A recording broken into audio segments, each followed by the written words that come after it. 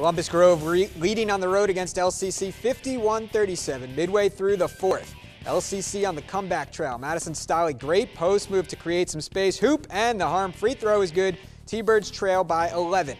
Stolly then forces the steal on the other end. Sydney Santaguida the ball drives, spinning pass back to Stolly off glass for two. LCC within nine. Santaguida to Kayla Verhoff in the corner, swishes that three-pointer.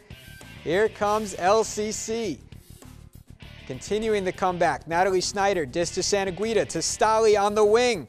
That three is good. Student section loves it. LCC down by just three.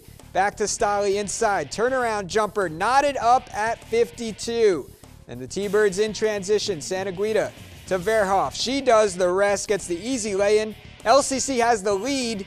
Columbus Grove comes back and it goes to overtime. LCC gets the victory 69-63. Five Lady T-Birds in double figures, including Madison Stolly with 18 and Natalie Schneider with 17.